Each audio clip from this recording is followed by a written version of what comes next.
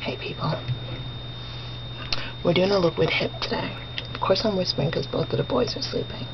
And I severely cheated. I have lemonade and I have groundwork already on my lid and I already have the gold color here. An inner tear duct all the way over on the brow bone and then a little bit down into the crease. Just using a small eyeshadow brush to do this. And I'm really just patting on the color. I'm not really finding a lot of um, payoff with the with the HIP colors. This is Flare 404 and a small eyeshadow, regular eyeshadow brush and just patting on the orange color into the middle. We're going to go lid all the way up to the, oh, just above the crease.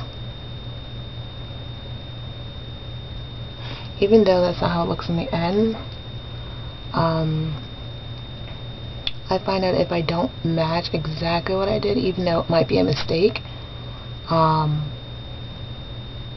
it just does never match it, so I just redo the mistake.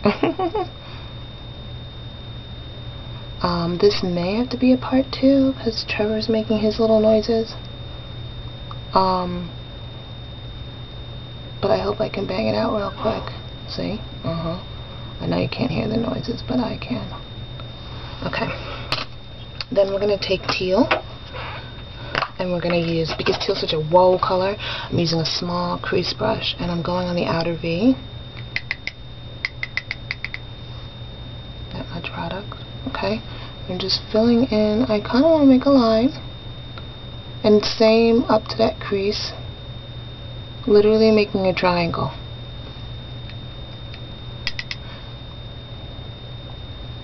Not going to talk as much, people, because I don't want to make a part two.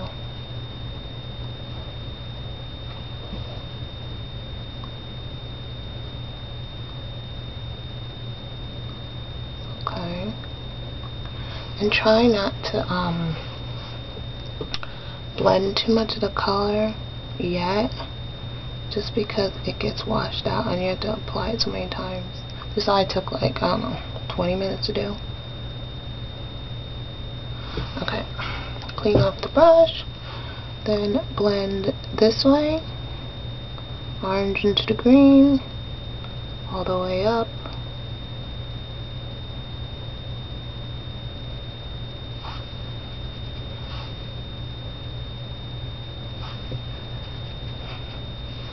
then take the bigger eyeshadow brush, bigger crease brush, and do the gold into the orange I hope you guys can hear me. I know you're probably going to have to turn up your volumes. That's how it's going to have to be from now on, I guess, guys. Touch back into that orange. See, like, I lose a lot of color. I'm doing small strokes, but with the HIP, I just, I lose a lot of the color.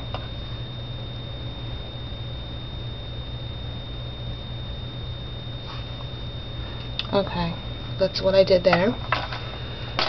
It always goes faster when you do it the second time. Then I'm taking 217 into mulch, and I have it separate, and I also have it in the palette, because I thought I lost it. Okay. Okay. And going into the crease.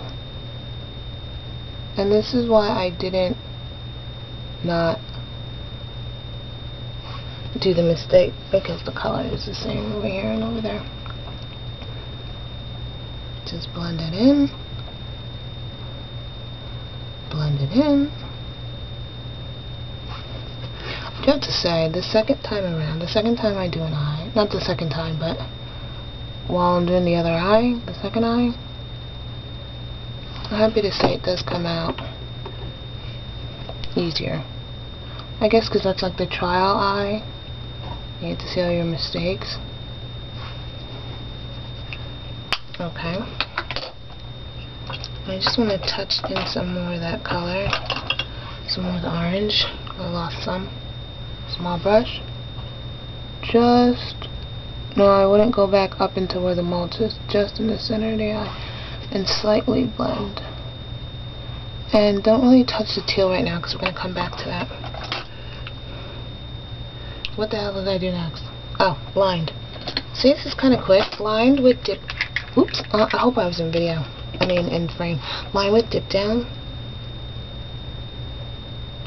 Which is Max Brown, flat brown. Fluidline. I'm sure the other makeup companies have a flat brown. Just like Almac has, um, what is that one called? Rich Ground or something that has like sparkles in it, liner, brown. This one has no sparkles. Okay, quick liner.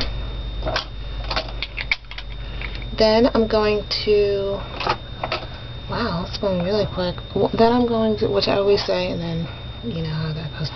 Um, this is a Posh brush. It's a brow brush. Okay, stiff brushes, bristles. Oh, that's not what I wanted. I wanted to take the Smashbox one. Same brow brush, but it's a little bit, the bristles are a little bit longer.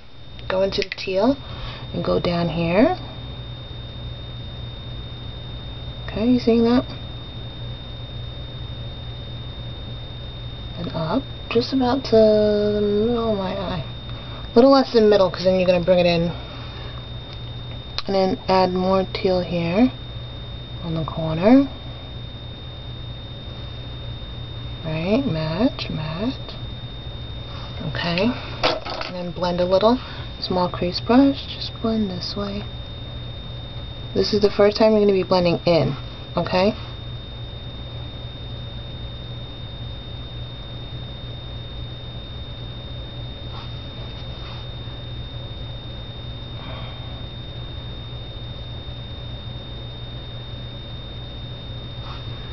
Okay, you don't want to lose any of that color. Just need a touch more here. Even it out. Pat, okay. Ooh. Ooh. um, I have X-Rocks on my cheeks. And I have Frosted Beige and next dirty, but um, Frosted Beige next lip gloss. Okay. Check it, check it. Uh-huh. I think I need to blend this a little bit more. Okay. And then also, small crease brush. Uh, small crease brush into mulch just catch that bottom and blend that harsh line there. Okay. We're also going to do brown on the waterline at the bottom.